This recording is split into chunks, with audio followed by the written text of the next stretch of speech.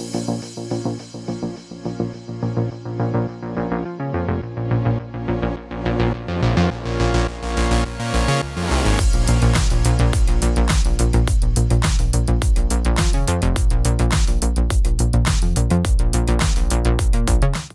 hello, folks. Welcome to World Cup Stories. I am the Custard Prophet, and we're back with another World Cup story. This is part one of our trek into the unknown with Canada at the World Cup in Qatar. Whatever happens, we are going to do better than Canada have done ever before because this is their first time qualifying for the World Cup. That's right, folks. We are managing Canada. Hopefully, we can do a little better than we did uh, uh, with Tunisia last time out. The important thing to remember is our restriction, and that is this. So, our restriction was three at the back. We have to play with three at the back. Uh, previously, uh, the restriction for Tunisia was we could only play with players who are um, six foot or less, which was a bugger. These guys would not have been able to play. So, we have set up our formation like this. We'll go through a couple of the key players as well, but we're going to be playing three at the back with a couple of wing backs and then um, uh, three uh, midfielders doing the grunt work with a, a couple of decent strikers up top. Uh, one shadow striker just behind a pressing forward, and hopefully that is going to be able to do the the business. The key thing here, as Old Lady Plays point out, is that whilst Canada do have some good players, those aren't necessarily represented in centre back positions. And what we have are three fairly ordinary players who are, are, fairly physical. They've got a bit of height amongst them, but technically they're not that adept. They aren't going to be able to pass their way out of a problem.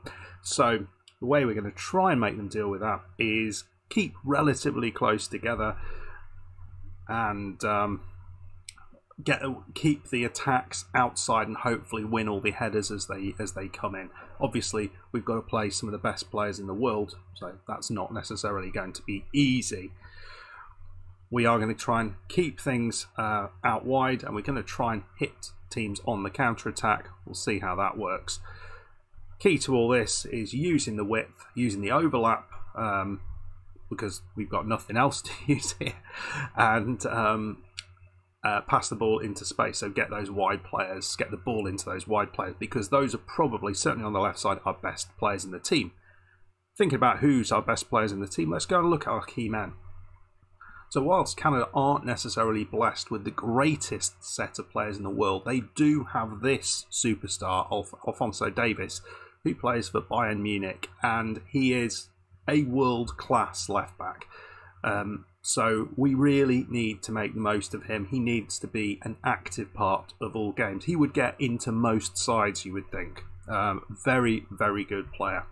It's not just a one horse team. We do have the likes of Jonathan David, who is, um, was he at Lille? Um, he is going to be playing probably in that number 10 role or the, uh, the attacking midfielder role, shadow striker role, just behind the striker, going to provide some um, support there. Another very good young player who will get better and better and better, you'd hope. The player who is likely going to be leading the line for us is Vancouver um, based Canadian international Lucas Cavallini, who has just been around North and South America. In fact, I think he's just been around North America. I think he's gone as far as Mexico. He's a 29 year old, but he's a very, very solid player.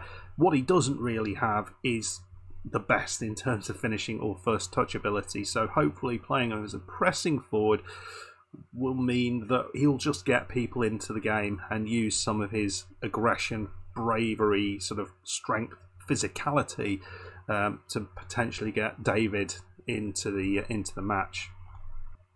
There's some decent central midfielders, and this guy's probably the pick of the bunch. Steven Eustáquio, who is at Porto. I'm not sure how Canadian this guy actually is, but um, we're glad to have him. And yeah, he does have a lot of good things going for him when looking through his his attributes. There's very little that you would say is a weak point, other than the fact he is not particularly strong or tall. Um, but other than that, he's he's pretty good, and he's I think he's going to be a, a creative influence in the middle of the pitch. as you can see, this is what the team looks like. So it's not as bad as you might think. We've got, a, I think, a very, very good midfield um, area and, and up top. In terms of backup, that's where it all gets a little bit worrisome. We don't have any particular superstar backups um, to, to come in. So when people are getting tired, then we, we're not going to have people to come on and really make a difference, which is which is a little bit of a worry. There are a few older players in here. I mean, for example, we Atiba Hutchinson, who I'm not sure if we'll be starting, is 39.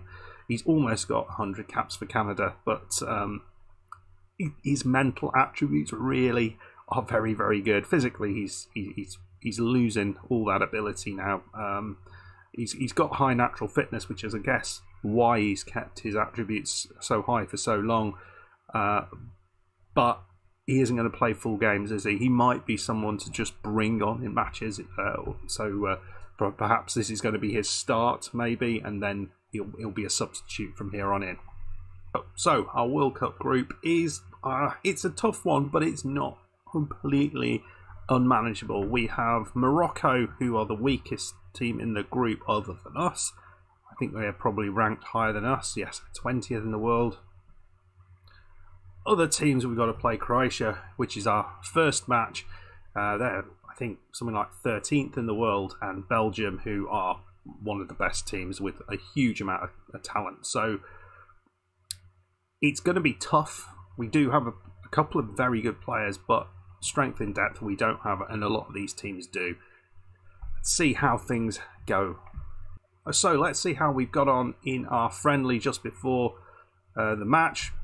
We played one of the greatest teams in the world, Liechtenstein, and yes, we deserve to win, but you can see here we did concede uh, two goals. Now we had a. This is not the formation that I wanted them to play. They they went for this kind of very basic 4-4-2 formation because I was not involved in this. But conceding two goals is a worry. So I'm hoping three at the back may be better for us. You can see um, actually it was mainly one chance that Liechtenstein had that created all of those. Well, the two chances, the good chances they had, they scored all of them. But we looked pretty strong in front of goal. Cavan, Cavallini and David working well together as a two. Well, how are they going to work together? Um, in the positions we put them in. We can always tweak it to that as well. Let's not forget that. Right then, let's go forward and play the game against Croatia, folks. Wish us luck. Well, before we get into the uh, the match, one little um, one of the other matches I wanted to share with you is this one: Mexico against Argentina. Mexico dominating the match against Argentina. They did get both teams getting a player sent off. There was two good disallowed goals at the end there for Argentina, but a, a Raul Jimenez Mexican goal won it for them.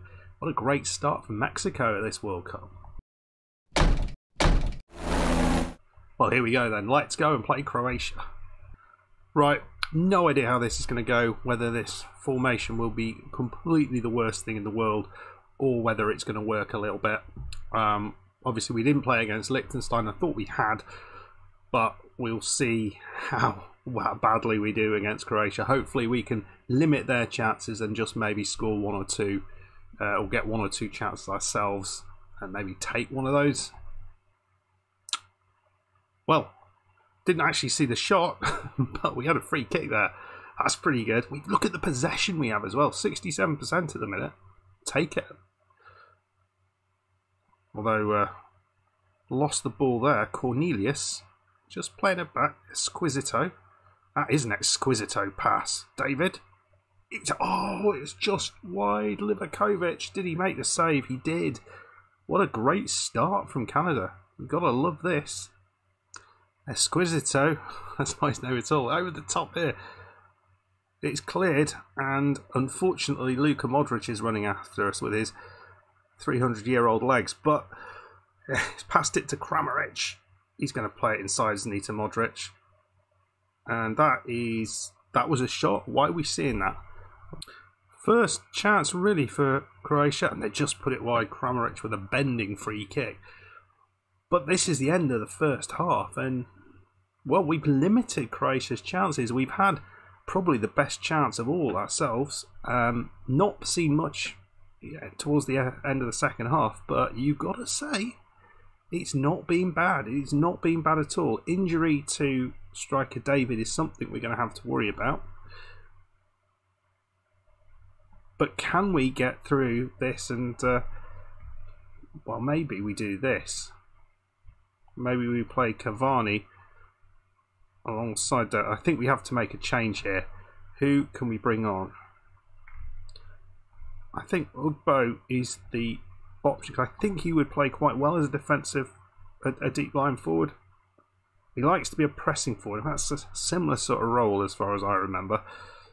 So um, yeah, we'll, we'll we'll do that. We'll put him as a pressing forward, but on attack. How about that? We've got very few attacking players. Let's uh, let's do that. We might have to up the number of attacking players. I think in the second half if we are going to want to create stuff. Well, Modric stands over the ball. Obviously, he's a wizard with the free kick, and he plays that one, which is an interesting one. Here he's back again, and it's over the top. Well done. Still not seeing much since that start, which was a very, very strong start from us. Not seen an awful lot from the Canadians. It's just gone wide again, but a draw is fine. We're gonna we're gonna pull back to uh, defensive, I think after watching Loki's video. If you haven't watched it, go and watch it. He changes what it means to play very defensive football. Well, what's happening here? Hutchinson's got it. There's a, bit of an overlap on that side. He did dallied on it, and Modric is through. And it's a terrible bit of play straight into the goalkeeper, Borjan. I'm going to make a, a couple of changes, I think. We're starting to tire a little bit. I think Osorio is definitely one man who wants to come on for 37 year old Hutchinson. 39 year old. So he's doing him a disservice. The back line is is looking very, very strong. Do we look to change the, the right side? Alistair Johnston also coming on. Kaye has it now running down the wing. Long ball, but into Perisic. No one picks it up for the Canadians. Good God, it's just lump ball. Lovely tackle. No, no, no, no, no, no, no, no, no. VAR? No, that was not a penalty. You got the ball. No. Oh, that's. Come on, goalkeeper. It's, bet it's Modric, isn't it? Just... No. Oh, the goalkeeper was moving in the right direction, got there, and. Oh, right, are we going to have to go? We're going to have to go positive. Well, defender Kamal Miller is coming on for Vitoria at, uh, on the left side of the central central defence. We're going to go a little bit more attacking. We picked the ball up here, but again, we're really struggling to have the strength and presence of mind just to hold the ball up when we need to. And I think goalkeeper wise, Borjan has done an excellent job in goal. The, the chances that he's had to save, he's he's done a good job. Corner comes in. We've just changed the front line around a little bit again, just trying to get a little bit better out of them. Cavallini's up front on his own on attack now. Another ball in here. This time Modric. It's over the top. They've, I mean, we've limited them to average chances, but they've had a lot of average chances, which isn't great. Forcing them to try and get most of these chances from free kick or whatever. It's not been a lot where they've got inside the box. That just flies over the bar. well, 1 0 loss on on one hand, we started amazingly, and just didn't start playing again until way in the second half uh, after the goal went in. But obviously, they got a penalty, and that's the only one, only shot I think, decent shot they had from within the box. And it was one other chance where it was just a poor finish, but. It's not a bad performance, really. I mean, 26 shots given up, which isn't great. Seven on target. Goalkeeper played well to to to keep that out. We we had five shots ourselves. Um, and at 0.77 xg. So we we we could well have got something out of that game if we'd have if if we have um, converted one of the chances we've we, we got. We had reasonable enough chances, a couple of decent chances, I think. Certainly the second one felt like we could have put it on the right side of the post. I don't think the formation worked terribly badly. Um, yeah, let me know in the comments what you think about that. Was it is is that as much as I can expect out of this side, or, or, or could I have got more if I had played better people in the more appropriate roles. I don't know. I don't know. I'm, I'm fairly happy with that. I didn't see anything coming out of that game, but then you never know what's going to happen to you. I've seen some weird results with Canada doing quite well against other nations uh, in previous run throughs of this, so I know it's possible. I just don't know if I'm capable of delivering. Anyway, folks, we're going to come back for I think the second episode. Will, or the second part will be the second two group games for Morocco and Belgium. We've got Morocco at first, so that's one we really need to win, and then we'd have to play Belgium and hope we can pick up something against the Belgian side, which will be challenging, I think. Um, yeah, I think we have to beat Morocco and then expect Croatia to beat Morocco as well, and then depending on how Croatia do against Belgium, I, I don't know, and it's it. There's there's a possibility. I don't think we're going through, but it would be awesome to not finish bottom of the group. I think that would be a great um, thing to aim for. Anyway, folks, if you have enjoyed this episode, please hit the like button. Leave me some tips. What what would you have done differently? How would you have set the team up differently? Um, in the comments. Uh, and I will see you uh, next time. Oh, yeah, subscribe as well if you haven't done so already. See you next time. Bye bye.